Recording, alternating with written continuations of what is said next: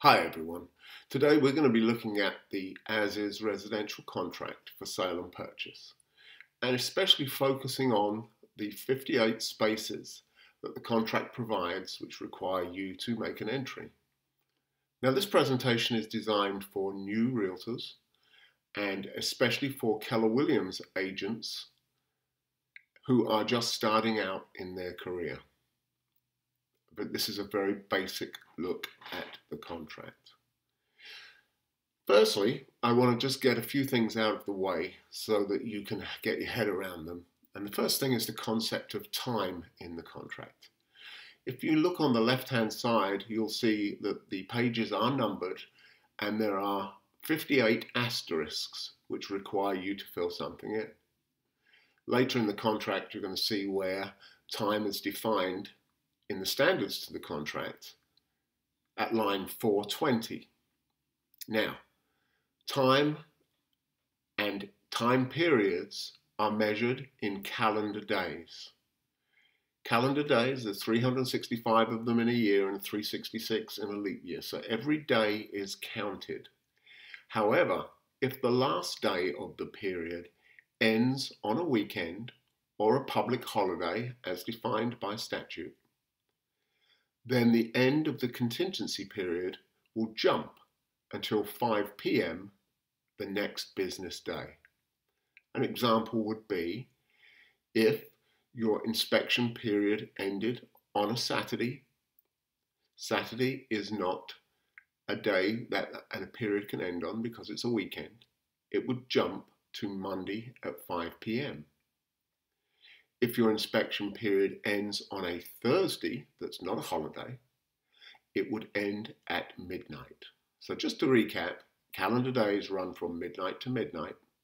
The period would end at midnight unless the last day of the period is a weekend or a public holiday, and the public holidays are defined. If it lands on a weekend or public holiday, it jumps to the next business day and ends at 5 o'clock. So another example would be if Monday was a public holiday and your inspection period ended on the Saturday, your inspection period would actually end on the Tuesday after the holiday at 5 pm. So that's got rid of time. Now let's take a look at what offer and acceptance is and what the effective date is. If we go to the first page, you will see at the bottom of the page that the contract will be effective here at line 48 is when the last one of the buyer and seller has signed or initialed and delivered this offer or final counter offer. That will be called the effective date. So you have an offer, it's not effective yet. The seller receives the offer, they consider the offer and decide to accept it. They sign the contract and the addenda and then they deliver it back to the buyer. That would be the effective date of the contract. Not when the buyer receives it, but when it was sent by the seller. And the effective date for the purposes of counting contingency periods is day zero. So if your contract's effective on Saturday, then your day one would be Sunday. Day zero is your effective date when all parties have signed and the last party has delivered it to the other party. That would be day zero, and the next day will be day one. Now, once we've got those two concepts of time and the effective date, it makes it a lot easier as you go through the contract and understand all the things that you're going to write in those 58 spaces. Now to help you with effective date and to help you with calendar days and the definition of time, there is a handout together with this presentation and everything else that we produce is in the Facebook Broker Forum. The handouts will be in the files section of the Facebook Florida Broker Forum and the definition of time and an effective date calculator for you. That's all within the files section on the Facebook Broker Forum. If you don't know how to join that, please get with your agent services coordinator and they will be happy to show you how to do it. So let's get moving on the contract. There is a handout. Again, that will be in the files section of the Facebook Broker Forum. I think we've established that. And on the handout, it tells you exactly what we're going to talk about today. So, asterisk one, parties to the contract. One is the seller and two is the buyer. Now, these can be a person or a legal entity, such as a trust or a corporation. They can also be an estate or someone signing as a power of attorney. And the way that we word this is laid out for you in the handout. So remember, an LLC can buy a property if its articles of incorporation allow it to. And the party to the contract would be Acme Explosives LLC, but the signature and the initials would all be by an officer of the company. You wouldn't sign it as Acme Explosives, you'd sign it as John Smith, who has to be an officer of the LLC in order to sign on its behalf. The next asterisk we get to is street address. Fairly simple. Street address, city and zip, located in which county is asterisk 8, and then the real property legal description. The legal description is found in on the deed or in the property appraiser's website. Also, you can get it through MLS, through the various different systems that they have, like IMAP. I suggest you copy and paste it so that you don't make any errors. If you make an error in the legal description, it can affect the validity of the contract later on. And what about if the legal description is too long?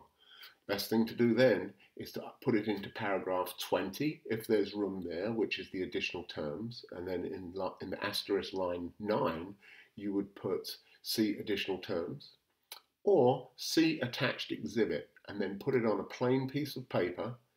And then in paragraph 19, there is a section which says other, and you would write exhibit 1 or exhibit A legal description. It would be part of the contract. So as you can see, paragraph 1 tells you what the property is and where it's located. It's really just highlighting exactly what it is that's being sold. Now we sell real property. We don't sell personal property. There is an allowance for a few items of personal property to convey, and the contract itself has some pre-printed items on here of personal property. What you will notice is that in these pre-printed, it doesn't mention washer and dryer it's become a bit of a standing joke that most realtors in their life will end up buying a washer and dryer, either because they forgot to add it in the contract or it was added in there and the seller didn't realize.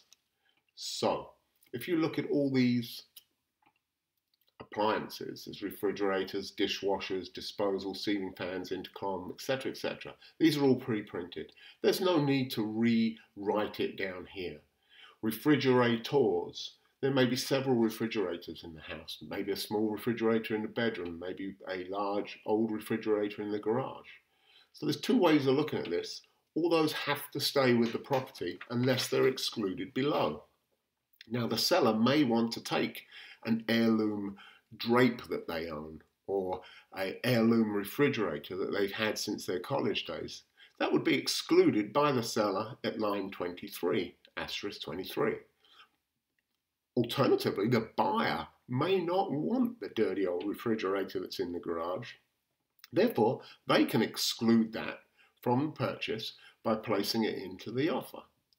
So be very, very careful with personal property, included or excluded.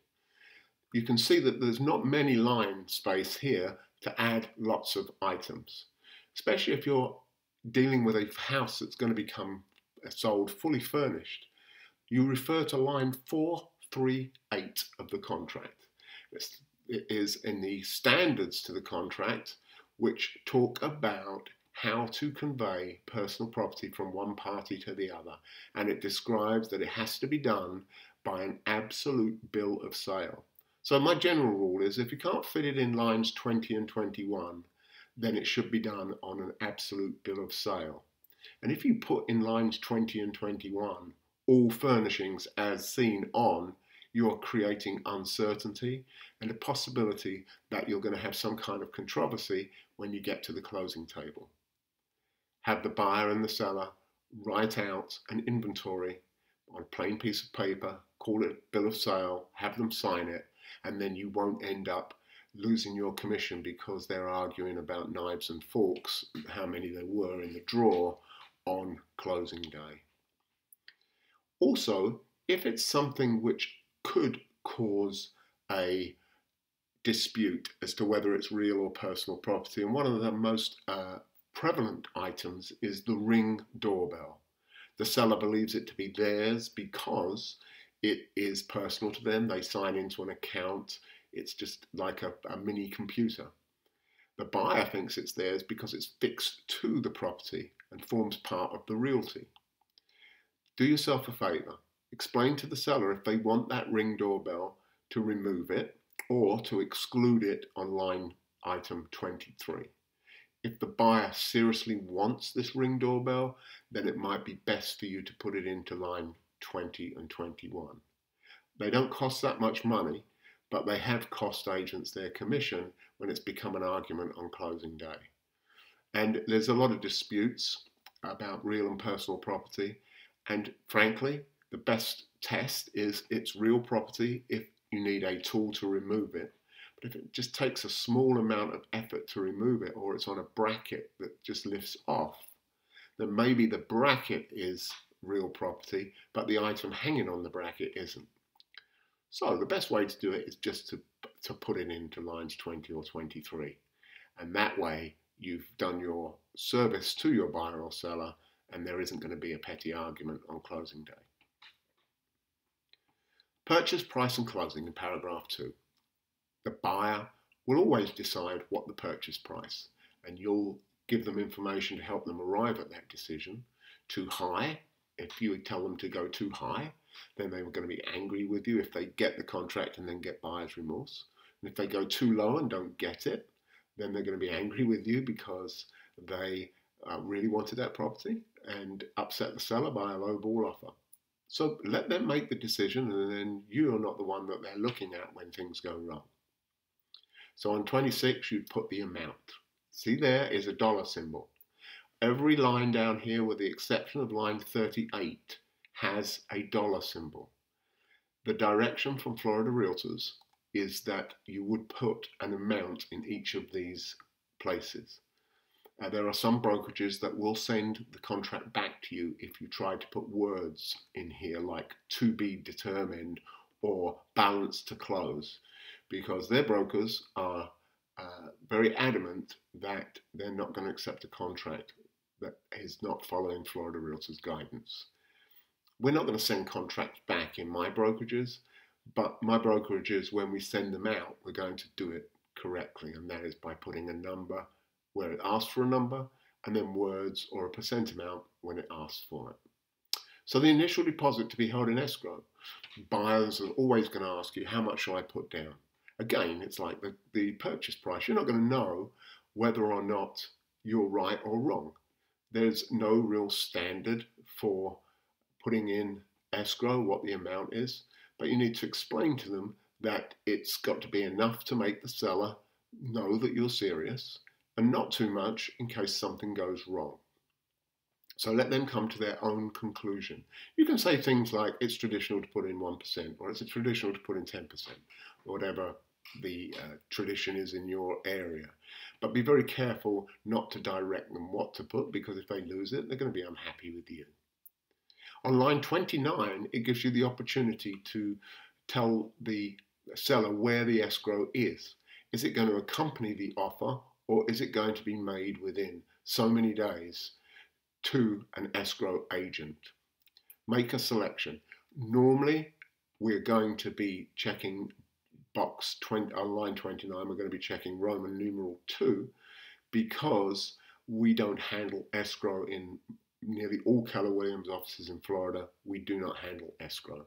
We either send it to another brokerage, an escrow agent, or an attorney. And we find out where it's going to go by asking the buyer's agent prior to making the offer or taking a look in MLS and it should direct you as to where to place the escrow. Good, well behaved, excellent listing agents are the ones that give you those clear directions. If there are no directions and you can't get hold of anyone, then place it with an escrow agent that you know. Ask someone in the office, who do we normally use for title services and escrow services? I'm sure that you've been in a team meeting and heard an escrow agent or a title agent give their presentation and it can always be changed later on. The information on lines 32 to 34 is not the closing agent. The closing agent can be someone completely different. Nowhere in this contract is the closing agent or closing title company named. Here we're talking about where the escrow is going to be held. If you don't fill in the box here on line 29, it automatically goes to three days.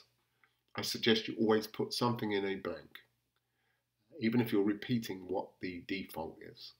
It makes, gives it clarity, and clarity is the power. What day is the third day going to be? If the third day is going to be a Monday, that means the banks have been shut for a couple of days, and it may be in the best interest of your buyer that if you are effective day zero on the Friday, and day one is Saturday, day two is Sunday, day three is Monday, they've only got one banking day in which to get the escrow in. So you may want to consider an effective date of a Friday, having it within four days. You could have it within five days. It's, in, it's all part of the terms of your offer. If neither box is checked, it will always default to Roman numeral 2. So check the box. This is one of the uh, items which can get you into trouble. So three lines 32 to 34, the escrow agent information. They want the name of the company that's holding escrow, not the name of your favorite escrow agent, but the actual company name. Like Sunshine Palm Tree Title Agency will be in here, not Fred Smith. The address, the phone, the email, and fax, if they have one, should all be put in there because this is information not for you, it's for the parties to know. Not for you to know, you most probably know who the uh, where they're located and what the phone number is. But this is for the buyer and the seller's information. And it's a state requirement that that is filled out. Line 35 talks about additional deposit sometimes it's a good strategy to break the escrow into two parts. We have one part going in within three or four days of execution, and then maybe as an act of goodwill, you're going to give more escrow after the inspection period or after the loan approval period. Line 38 is financing. How much is your person going to be borrowing? And here you'll see there is no dollar sign. So they can actually have a percent amount in here. So if they're borrowing 95%, it's quite reasonable to place that in this line. Other, they may be getting funds from another part uh, method. There may be an RV or a boat or something else that's going to contribute towards the purchase of the property, and that will be written at line 39. And then finally, the mathematical equation of all of this ends at a dollar amount here, not balance, but a dollar amount of how much the buyer has got to bring to the closing table. Now, there's not going to be an exact amount, but it's going to be a ballpark amount because things change during the course of the transaction, and there may be differences in interest rates, differences in expenses that have been negotiated, but this gives the buyer a good idea of that they're going to have to bring maybe 6,000 or 10,000 or 20,000 to the closing table.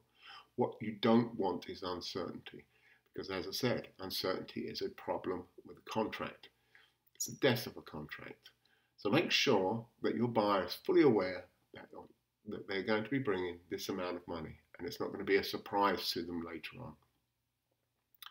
Line 45, this blank is for a date and it's how much, how much time that you need to hear back from the seller once you've made your offer. And it gives the opportunity for a buyer to walk away and, and make this offer deemed withdrawn because there's some situations where we might not hear back from the seller at all and the buyer wants to get on with their life and maybe go out and put some more offers in. So if it's not signed by the buyer and seller and an executed copy delivered to all parties on or before this date, then the offer is going to be deemed withdrawn and the deposit, if any, going to be returned. And it then goes on to say that offers and counter offers shall be within two days after the day that counter offer is delivered. And this is one of the exceptions to that the uh, if the last day ends on a weekend or holiday, because if it, obviously if you're doing offers and counter offers, it doesn't matter whether the last day of the two days is a Saturday or a uh, Sunday or a public holiday. They want to get the job done so it doesn't jump to the next day. This gives the buyer protection from a non-responsive seller. It doesn't require you to go back and change it if they do consequently uh, go back and get into contract. It's a protection for that negotiation period. Closing date is required at line 52. Avoid using the words on or before.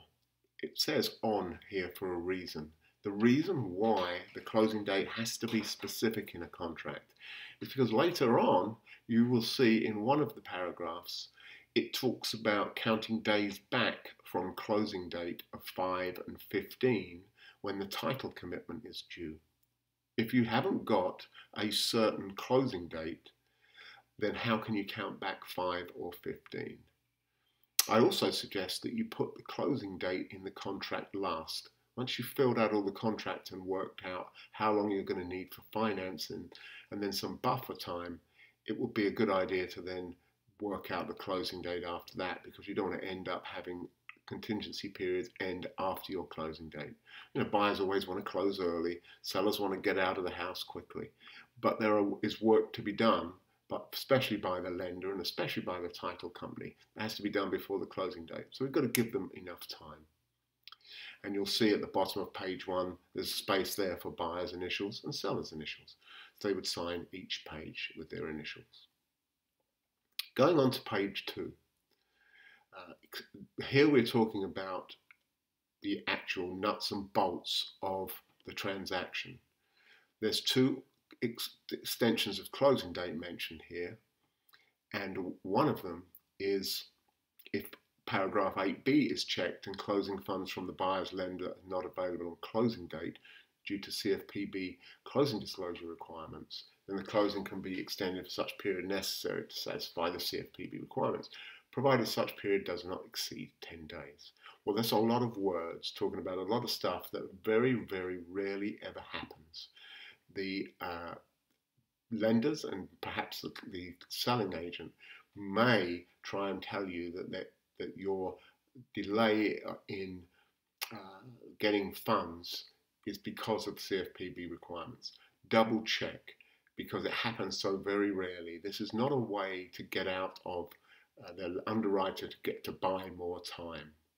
There's a beautiful article written about it um, by a law firm in Sarasota, and I'd be happy to point you to where that is. And I think you know now it's in the files section of the Facebook broker forum.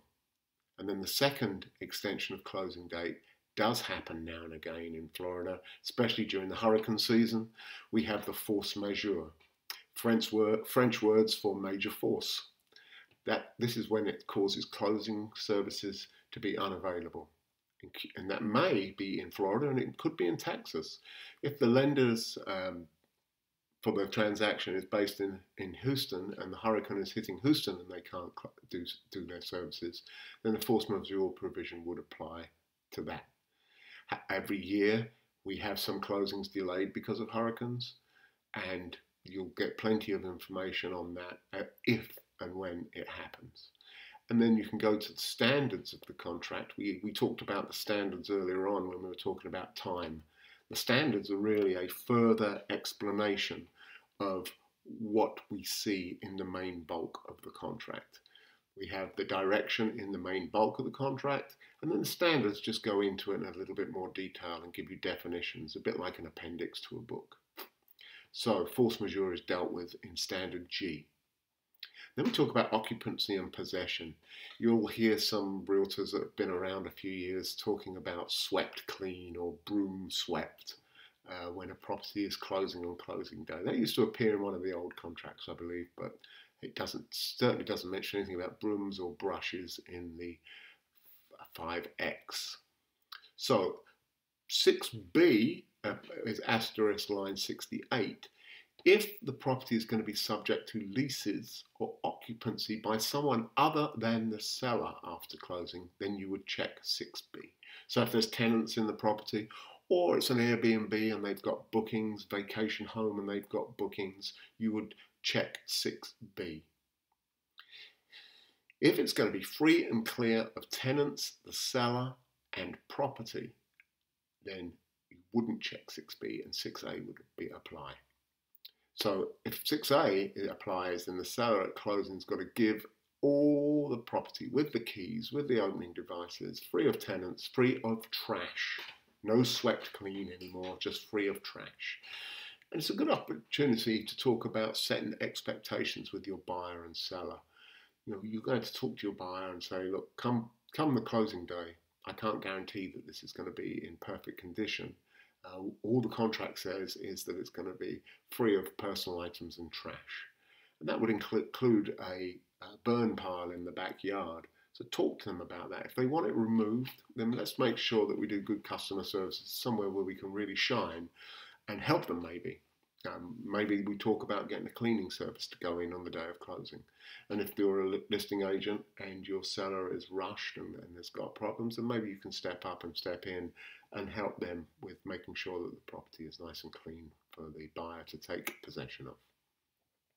Now, if it is subject of lease, then you will see some directions here that the uh, standard D here um, talks in about it further, but it talks here about what, how long the buyer and seller have got to do, to talk about the leases for the tenants that are going to be in there or any leases for vacation rentals.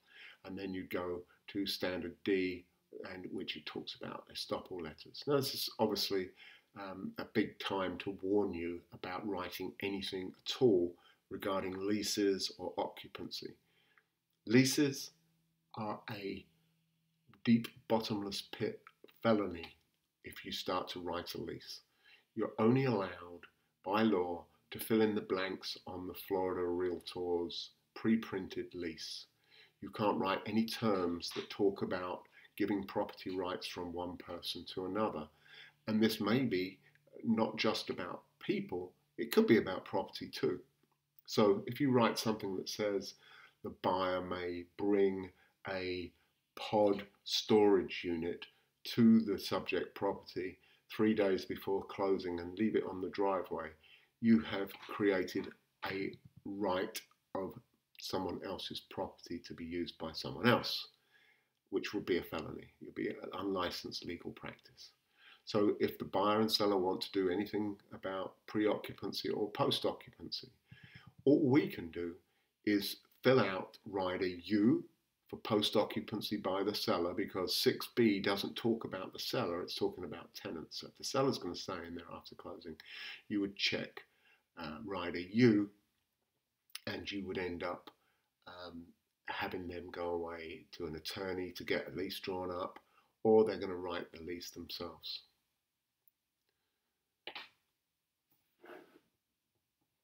at 77 and 78 talk about assigning a contract it's normal for a person not to assign a contract. Sellers like to see the contract not be assignable. However, there are certain situations uh, where a person will ask to assign the contract and be released from further liability, or they may want to assign but not be released. There's a whole presentation that you may want to attend if you're interested in wholesaling, where we talk about assigning contracts. It's normally not a good thing for the seller to allow box one to be checked. They normally, if they understand why uh, box two would be checked, and that's normally where they're going to pay, make an offer on a property, and if they're successful in closing it, prior to the closing, they may want to put the property into an LLC, and this gives them the opportunity to uh, say like an investment property where they want to have the LLC as a street name, for instance. There's no point in starting the LLC with a street name until you know that you've definitely got the property. So 123 High Street LLC, no point if you don't get to close on 123 High Street. So they want to be able to assign it but not be released. That's fairly common. And then obviously the last one may not assign is the most common box to be checked at 77 and 78. Paragraph 8, financing the whole theory behind the financing paragraph will be discussed in another presentation, but for today, we're going to talk about what's going to be filled in. At asterisk 82 would be if a buyer is going to pay cash. If they're not going to pay cash and they're going to get a loan, then on line 86 you would check box B at 86 and then the type of loan that they are applying for. And then at 87, the blank is 30 days for a loan approval period. You will want to check with the lender how much time they need. They always say they can do it in 30 days, but you want to make sure you know that they're going to get it done in 30 days. In, in the market where there are a lot of loans and a lot of stuff being log jammed in the in the underwriting department, then they may want 45. And some types of loans, for example, a USDA loan, may require more than 30 days for a loan approval to be obtained. 988, what type of mortgage, fixed adjustable, or fixed or adjustable rate in the loan amount.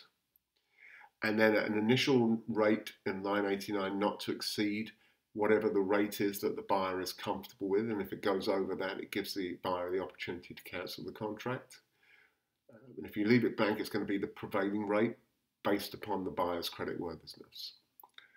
In a, in a very rampant and, and, fluctuating market, the buyer may want to consider putting an, a figure in there if they haven't fixed their percentage early. And then uh, line 90, how many years is the loan going to be? And then line 91 is how many days they have to make the loan application. And these are all things that you need to be really forcing the buyer into. I say forcing, you really do need to force them to get on with their application because if the seller finds out that they haven't made application, they could cancel. And in a in a seller's market, uh, the buyer wants to do everything they can to keep the seller happy. Buyer's failure to use diligent effort to obtain loan approval can be found out really quickly because this paragraph gives the rights to the seller and the seller's agents to contact the, the buyer's lender to find out whether they have made application and whether the progress of the loan is going in the right direction and that they're making diligent effort to obtain the loan. As I say, this will be subject of another presentation, but for now, um, we're talking about filling in the blanks. Where the blanks that you fill in between 86 and 91 all form part of the protections that the buyer has, and if they vary those items that they've placed in these lines, then it should be done by an addendum to the contract. So if they change the type of loan, they, you need to have an addendum to the contract, changing it to put, keep the protections that paragraph 8 gives the buyer intact. Line 123, assumption of existing mortgage. There are some mortgages that are assumable, very few, seen a couple over the years, um, but that would be something that the seller would advertise that you can assume my mortgage. And then a purchase money note means basically that the seller is going to finance it. And if you have a finance, seller financing, there is a rider specifically for seller financing, uh, which we'll get to in paragraph 19. And then we get to paragraph 9. There's a, a asterisk at line 131 and then one at 144. This is for this line here, other. Always check that. And when I say check it, inspect it to make sure that nothing has been put in there if you're the listing agent. And in an counter, you want to make sure that nothing's been put into the cost paid by the buyer on a counter offer.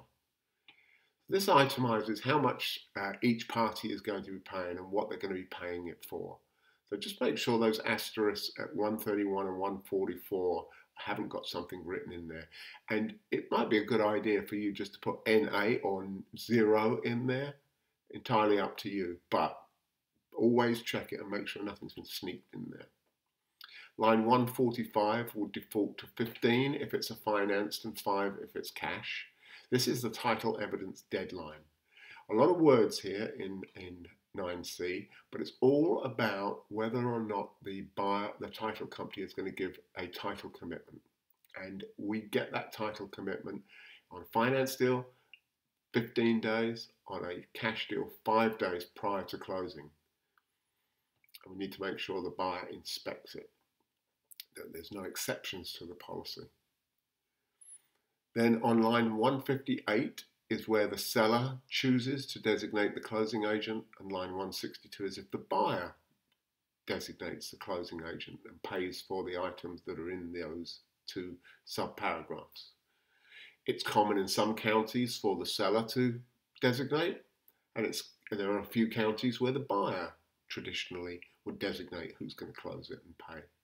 Entirely up to the parties, but one of them must be checked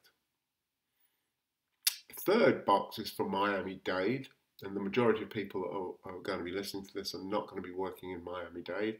And if you do work in Miami-Dade, you know exactly what this is all about. There are some additional rules and fees that take place down there, and it's explained in, in 9C3.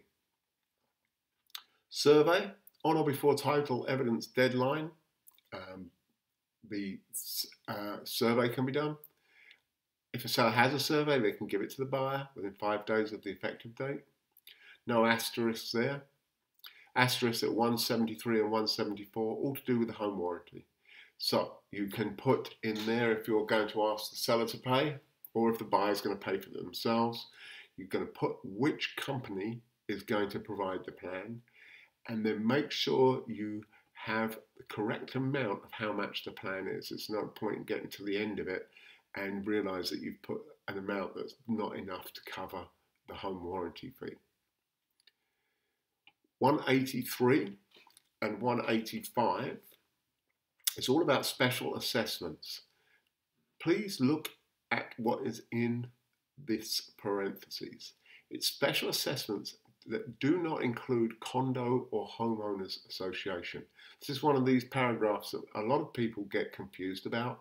This is about a public body charging a special assessment, and they normally appear on the seller's tax record um, as a non ad valorem tax. So if there's a special assessment, you're going to have the seller's going to pay prior to closing, and then the buyer pay after, which is the normal one. And then B, the seller's going to pay it in full before closing. Examples of this are if they put street lamps into an area or a water line or a septic system has been upgraded to a sewer system. There may be a tax that's applied to the property in order to pay for this. And it only seems fair that the seller would pay up until closing because they get to enjoy it and then the buyer's going to carry on with the payments afterwards. It's all negotiable, but A is the most common one that is selected.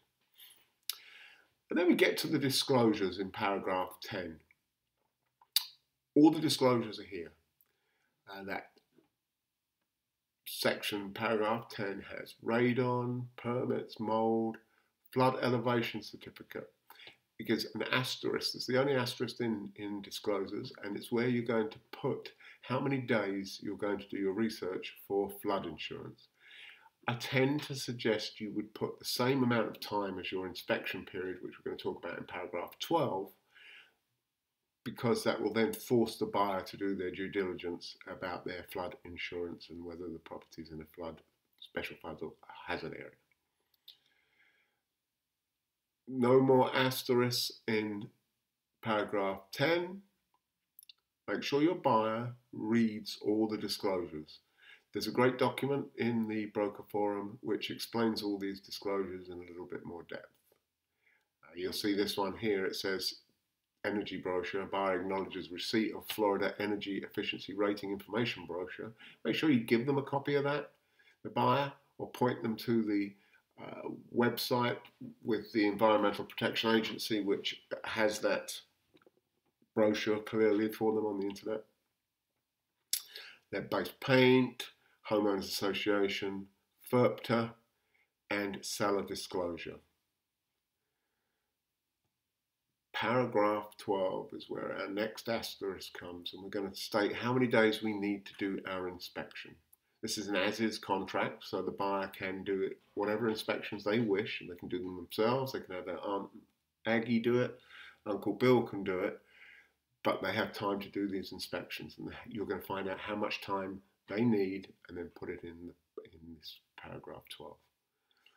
With the as-is contract, these, the buyer may cancel the contract at their sole discretion. So they can do inspections if they wish, or they don't have to do any inspections at all, and they can cancel for any or no reason. Interesting thing is that people get confused about this, and they feel that you have to do an inspection. And it's been confused over the years by people talking about the inspection in an as-is contract as a contingency. It's not a contingency, it's a period. It's a period of time where the buyer can do inspections if they wish, and cancel if they wish. Next asterisk comes at way down the page.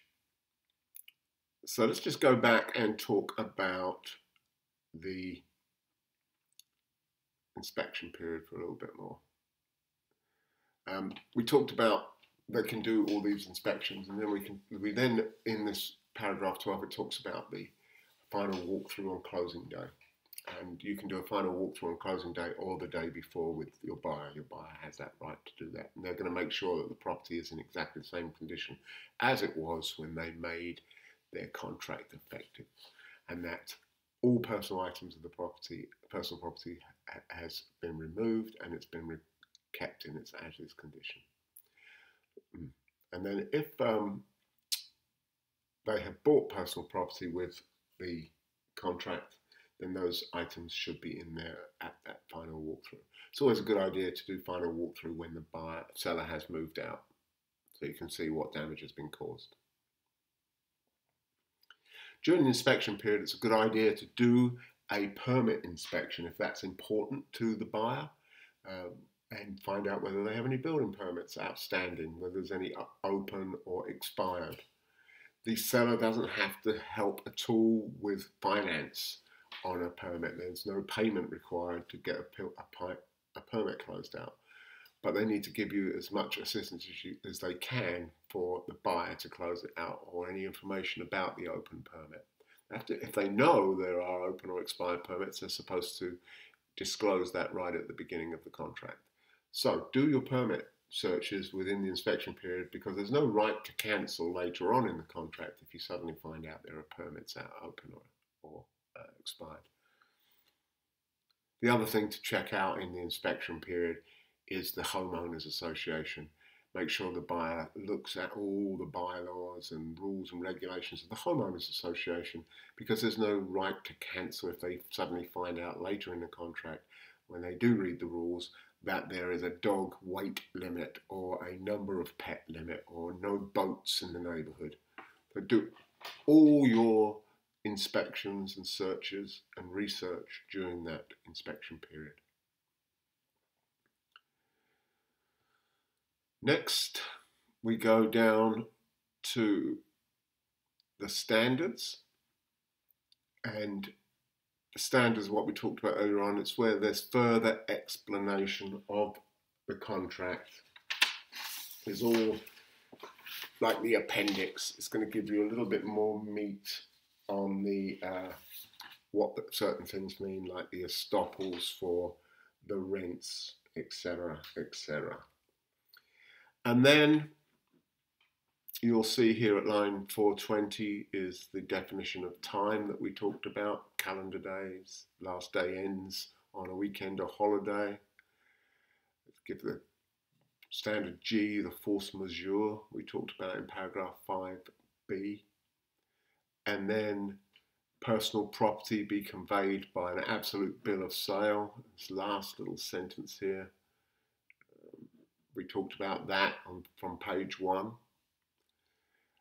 Read these, understand what they are because it can help you when you have a question from the other side. You'll be able to point the other agent to a, a section in, in the in these this area to help you get this thing to the closing table. Lots of good stuff in here.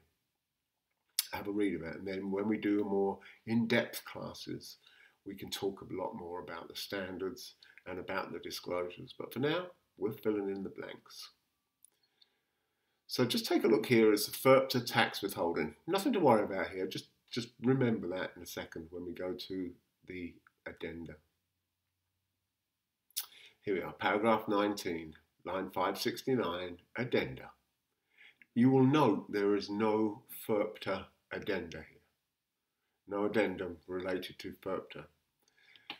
These addenda, which is a plural of addendum, relate to items that you're going to want to use as tools in your offer.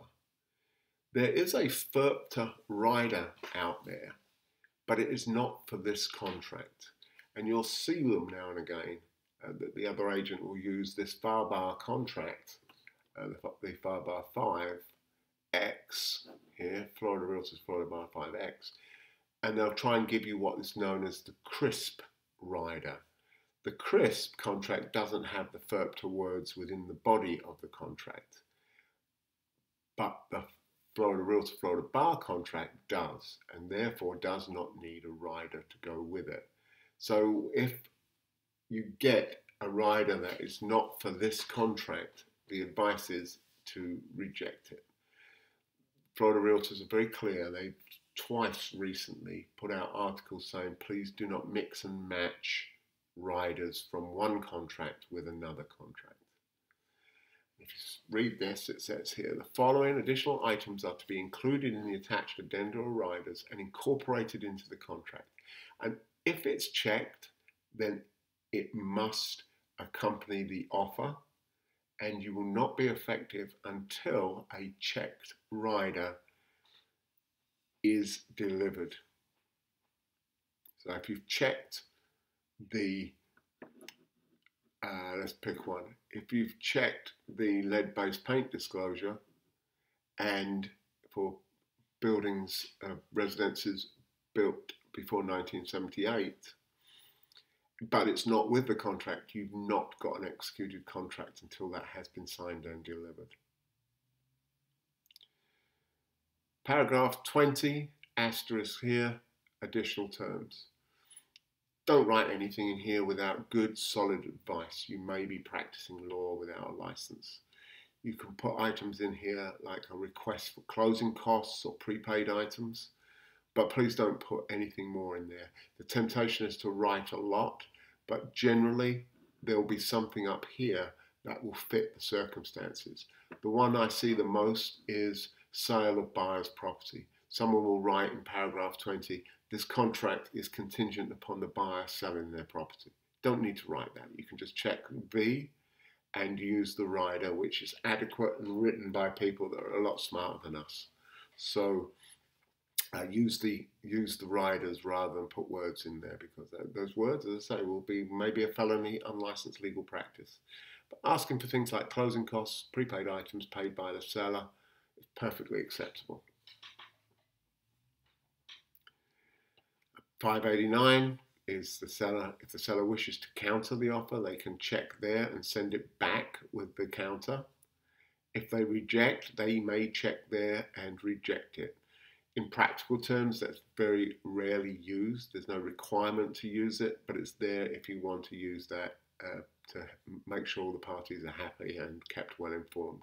But generally, it's counted in a text or uh, is an email.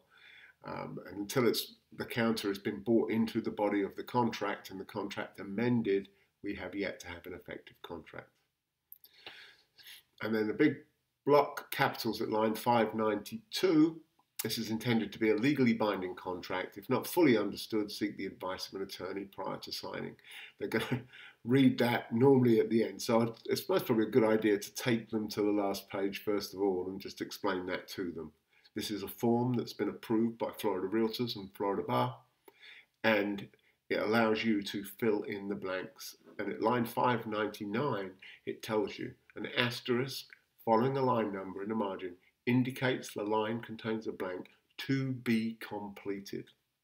The advice I gave earlier on is complete it, even if it says if left blank. Just put something in there. It adds clarity to the contract. And here we go. A load of asterisks here where people are going to be signing. And then 606 and 607, the addresses for the buyer and seller we normally use the real estate office address. There's, there's no, no requirement for the buyer to reveal their home address to the seller. And then the places here for the agents to sign. The, the, don't put my name in here or your broker's name. Put the actual company that the broker is. And don't just put Keller Williams, put Keller Williams Legacy or Keller Williams Advantage whatever your brokerage is where your license is hanging, put it there. Because in four or five years' time, when we have to go to court on something, we want to make sure we were very clear as to who the agent was and what brokerage they were under when they wrote this contract. And that is the 58 spaces of the as is residential contract.